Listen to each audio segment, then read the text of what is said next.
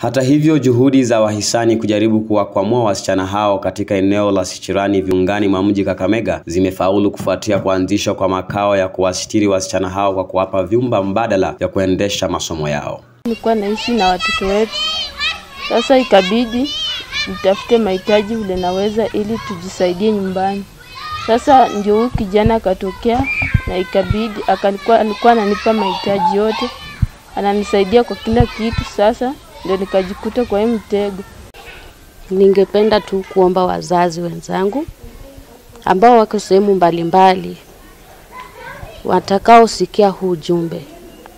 Ah, tumekuwa kwa mhula mrefu wa korona, watoto wamekaa nyumbani sana, shetani akaingilia watoto wetu, watoto wasichana wameathirika wengi sana, na unapata wamefungua shule, watoto wamekaa manyumbani, wako na ujauzito, wame give up.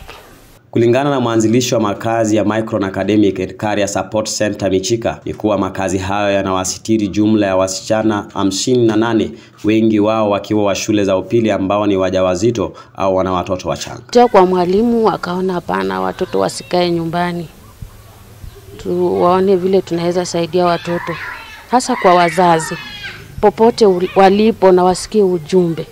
Ningewasi ama ningewaomba wasifungie watoto nyumbani.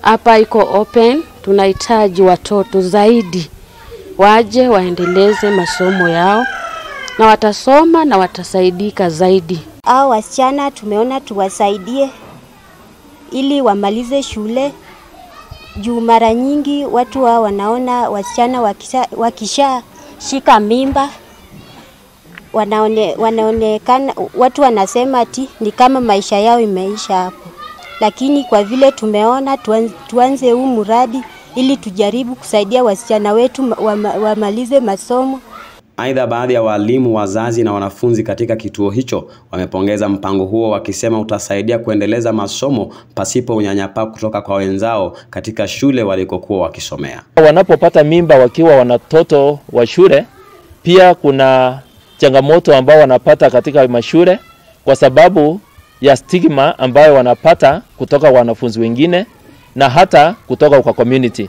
So wakati wanapata hiyo stigma inawaletea uh, mawazo mengi na magonjwa ya kiakili waanza kuingia. Ndio mara kwa mara tunaona wengine wanajaribu kujitoa hata uhai kwa sababu ya fikara mingi wanapata kutokana na hisi shida ya kuwa na mimba, na wale ambao wamepata watoto wanatupa watoto kwa sababu ya hiyo shida ya kiakili wanakuwa nayo, wanakuwa na stigma, wanakuwa na shida na matatizo ya kuchunga hao watoto. Nixon Ochieng, Runinga ya Magharibi.